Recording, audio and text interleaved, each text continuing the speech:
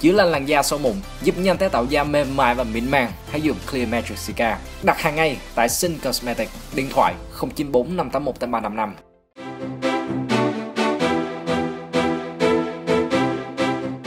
Chào buổi tối các fan của cả bóng đá, bây giờ mình sẽ đem đến cho anh em những tin chính của buổi tối ngày 25 tháng 6.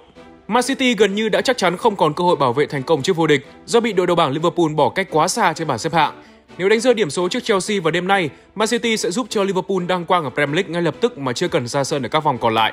Vào chủ nhật ngày 28 tháng 6, The Citizen sẽ đụng độ Newcastle ở bán kết FA Cup, nên Pep úp mở khả năng chỉ tung ra đội hình phụ trong trận đại chiến với Chelsea nhằm hướng tới mục tiêu thiết thực hơn. Chúng tôi có lợi thế khi có 5 ngày nghỉ sau các trận gặp Arsenal và Burnley, nhưng toàn đội vẫn không hoàn toàn sung sức. Tôi không biết khi nào cả đội sẽ khỏe mạnh bởi một số cầu thủ phải thi đấu 90 phút sau mỗi vài ngày. Chúng tôi đang gặp các vấn đề về cơ bắp từ trận đấu gần nhất. Bạn phải tránh các chấn thương cho hai trận đấu quan trọng. Newcastle vào chủ nhật và đặc biệt là Real Madrid. Huấn luyện viên Pep Guardiola chia sẻ. Với bàn thắng vào lưới Mallorca dạng sáng nay, Sergio Ramos lại lập thêm một cột mốc ghi bàn đáng nhớ nữa. Theo đó, anh đã trở thành hậu vệ đầu tiên ghi được 8 bàn thắng trở lên trong một mùa giải của La Liga kể từ năm 2007. Người gần nhất làm được điều này là Ezekiel Garay. Cách đây 13 năm, ngôi sao hiện đang khoác áo Valencia đã có 9 pha lập công cho câu lạc bộ Racing tại giải đấu số 1 Tây Ban Nha mùa giải 2006-2007. Với 3 điểm giành được ngày hôm nay, Real Madrid đã đòi lại ngôi đầu bảng từ tay đại kình địch Barcelona. Cả hai đội đang có cùng 68 điểm sau vòng 31, nhưng Ramos và các đồng đội xếp trên do hơn về hiệu số đối đầu. Sau khi ký hợp đồng mới với Pablo Mari, Cedric Suarez và David Luiz, Arsenal cũng chuẩn bị trói chân tài năng trẻ sáng giá nhất của câu lạc bộ Bukayo Saka. Cầu thủ 18 tuổi này trưởng thành từ học viện của pháo thủ và được huấn luyện viên Mikel Arteta đánh giá rất cao. Từ đầu mùa, anh đã ra sân 20 trận ở Premier League trong đó có 14 trận đá chính. Bukayo Saka có thể đá được ở nhiều vị trí khác nhau trên hàng công. Anh là cầu thủ chơi hay nhất của Arsenal trong trận thua trước Brighton. Hiện Saka đang nhận mức lương rơi vào khoảng 7.000 bảng một tuần và sẽ hết hạn hợp đồng với pháo thủ vào mùa hè năm 2021. Theo nhiều nguồn tin, rất nhiều câu lạc bộ sẵn sàng trả Saka mức lương gấp 10 lần hiện tại để có được sự phục vụ của anh. Vì vậy, Arsenal đang gấp rút đàm phán ký hợp đồng mới với tài năng trẻ người Anh.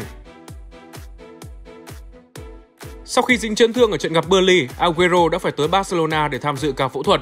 Ca phẫu thuật của Aguero đã diễn ra tốt đẹp vào ngày hôm qua. Tiền đạo người Argentina đã gửi thông điệp này trên Twitter.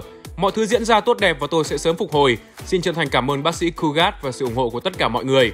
Aguero đã tham dự ca phẫu thuật gấp vì muốn trở lại tham dự Champions League trong tháng 8. Tuy vậy, sau ca phẫu thuật hôm qua, tiền đạo người Argentina chưa thể hẹn ngày trở lại. Với chấn thương của Aguero, Pep chỉ có lại một lựa chọn ở vị trí trung phong là Gabriel Jesus, người đã ghi 18 bản ở mùa giải năm nay. Với lịch thi đấu dày đặc ở giai đoạn cuối của Premier League, nhà cầm quân người Tây Ban Nha rất lo ngại nguy cơ dính chấn thương của nhiều cầu thủ quan trọng khác. Tiền vệ Luca Romero đã đi vào lịch sử La Liga với màn ra mắt Real Mallorca ở trận gặp Real Madrid đêm qua. Tính tới thời điểm ra mắt La Liga đêm qua, Luca Romero mới chỉ có 15 tuổi 219 ngày. Anh đã đi vào lịch sử giải đấu với tư cách cầu thủ trẻ nhất ra sân. Đáng chú ý, tài năng trẻ của Mallorca đã xô đổ kỷ lục kéo dài hơn 80 năm do hậu vệ Sanson của Celta Vigo thiết lập vào năm 1939 ở 15 tuổi 255 ngày. Luca Romero là tài năng trẻ sáng giá từng nhận được sự quan tâm của nhiều câu lạc bộ lớn như Man United, Barcelona, Juventus hay Atletico Madrid. Tiền vệ tấn công này sinh ra ở Mexico, được ví von là Messi của Mexico, nhưng anh hiện đang thi đấu cho đội U17 của Argentina.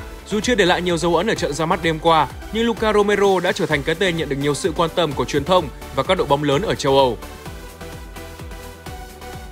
Ở đợt tập trung thứ hai để hướng đến vòng chung kết U19 châu Á 2020, huấn luyện viên Philippe Chuzier đã triệu tập 30 cầu thủ, trong đó Sông Lam Nghệ An đóng góp đến gần 1 phần 3 số lượng tuyển thủ.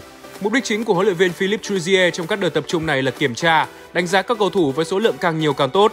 Do vậy có thể hiểu, việc đa số các cầu thủ của đợt 1 không có tên ở đợt 2 không đồng nghĩa họ không có cơ hội góp mặt ở vòng chung kết U19 châu Á 2020. Chưa kể vẫn còn rất nhiều cầu thủ có khả năng nhưng chưa được triệu tập do đang bận thi đấu tại vòng chung kết giải U19 quốc gia 2020 hoặc chuẩn bị thi đấu cho các giải khác như giải hạng nhì quốc gia 2020 sẽ khởi tranh vào tháng 7. Tất cả các cầu thủ có tiềm năng nằm trong tầm ngắm của ban huấn luyện sẽ lần lượt được góp mặt trong các đợt tập trung kế tiếp của đội tuyển. Vừa rồi là những tin chính trong buổi tối ngày 25 tháng 6. Chúc các bạn một buổi tối vui vẻ và mát mẻ.